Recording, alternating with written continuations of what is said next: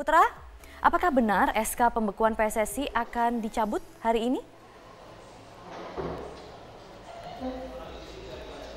Ya, Maria, memang uh, beberapa saat yang lalu, sekitar 30 menit yang lalu, Deputi 4 Kemenpora Gatot Estewa Broto sekaligus uh, juru bicara dari Kemenpora melakukan konferensi pers terkait SK pembekuan penc pencabutan dari PSSI ini.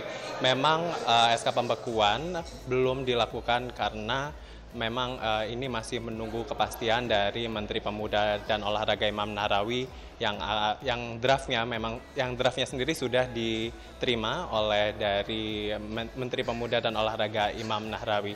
SK pembekuan ini memang disinyalir kuat akan dilakukan pada hari ini dan tepatnya pada rapat paripurna di Presiden uh, di Istana Presiden uh, pada malam nanti. Namun ini masih belum dapat dipastikan secara pasti dan berikut adalah pernyataan dari Gatot S. Broto selaku juru bicara Kemenpora. Bahwasanya uh, tentu saja FIFA tidak akan mungkin mencabut suspension, mencabut sanksinya kepada Indonesia kalau pembekuan itu belum dicabut. Nah, kami sendiri di Kemenpora sudah mempersiapkan draft rencana pencabutan.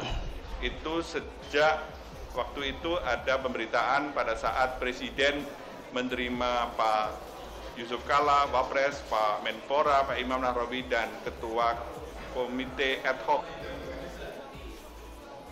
Ya, Maria memang pencabutan SK pembekuan dari PSSI ini masih ditunggu oleh sejumlah insan sepak bola, khususnya para pemain sepak bola dan perangkat dari sepak bola. Karena memang pembekuan PSSI ini sudah berlangsung lebih dari satu tahun dan tetap menunggu adanya reformasi tata kelola dari sepak bola. Maria, kembali ke studio. Ya betul sekali itulah yang kita harapkan agar sepak bola tanah air kembali bergeliat. Terima kasih Putra Adito untuk informasinya langsung dari Kemenpora.